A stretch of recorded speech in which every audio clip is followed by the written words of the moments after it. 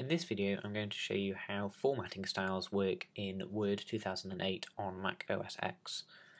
Um, the formatting styles allow you to change styles that are an entire document without having to change each individual um, block of text.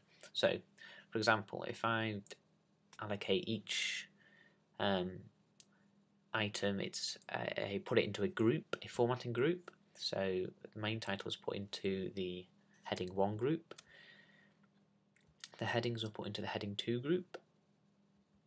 The subheadings are put into the heading 3 group. Right? So now they're ready to be styled. So all the subheadings will have the same styling, all the headings will have the same styling, and all the main titles or heading 1s will have the same styling. So let's change the heading 1 style. Modify style. Um, I'm gonna I'm gonna not base it on anything. It's gonna have no uh, original base. I'm going to add a border underneath to act as a big underline. I'm going to enlarge the size of it and that's it. There's my new main title. Right, this will be this will show you now more how this is useful with the formatting. So you see I have two headings, this one and this one. Change the heading 2 style. I'm just going to increase the font size. You notice that both of them change. And the same with the subheading. If I modify the style, increase the font size, italicize it, and they've all changed.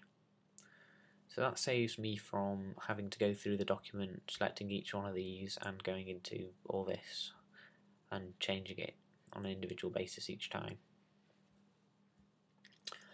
Um, when it comes to formatting a professional document, you tend to want to number your headings and subheadings. So I'll show you how to do that. If I go to Modify Style and go to um, Numbering, Okay, on bullets numbering, go to outline numbered, select um, whichever one you want, I'll use this one. Go on to customize, you can customize the way, um, the way it's numbered. In this case I've customized it so that the level 1, which is heading 1, doesn't have a number. Level 2 has a main 1 number. Level 3 um, follows the main number of the heading um, above it and um, has its own number. So you'll see now that when I press OK.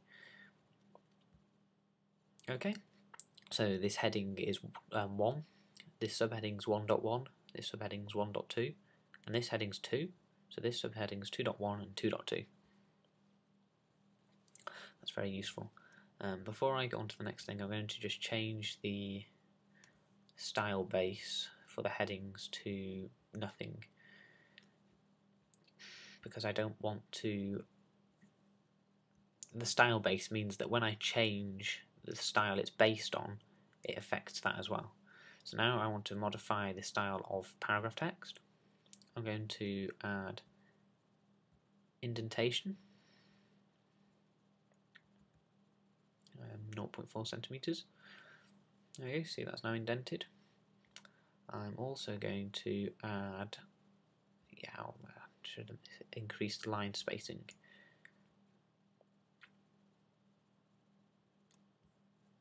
So that spaces things out a bit. Um, and so that's it really, that's now a more professionally um, formatted document. Um, another reason for using numbers is that it's very useful when inserting a contents table. So to insert a contents table here, I'm going to go to Document Elements, up here. You go to Table of Contents, and then select whichever one you want. Um, in my case, I want this one. And as you can see, it is styled in the in the same way, and it's um, each of these things is numbered. So you've got one heading, and then these are indented 1.1, 1.2, and so on. And that's very useful because it means you don't have to do it manually. So that's it. That's it for now.